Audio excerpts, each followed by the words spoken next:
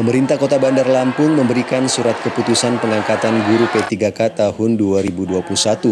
Namun para guru P3K di Bandar Lampung itu baru akan menerima gaji usai pengesahan anggaran belanja dan pendapatan daerah perubahan atau APBDP tahun 2022. PJ Sekda Kota Bandar Lampung Soekarma Wijaya menyatakan 1.166 guru P3K akan mendapatkan haknya pada bulan November dan Desember usai kebutuhan gaji mereka dimasukkan dalam APBDP. Tanggung jawab atas apa yang menjadi hak-hak kalian.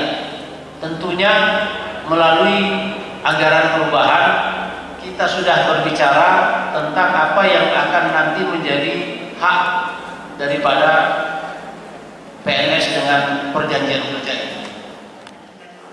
Dijelaskannya anggaran rumusan anggaran tahun 2022 sudah ditetapkan pada Desember 2021 namun pemerintah daerah baru menerima berkas P3K di Maret dan April 2022 sehingga kebutuhan gajinya tidak tercover.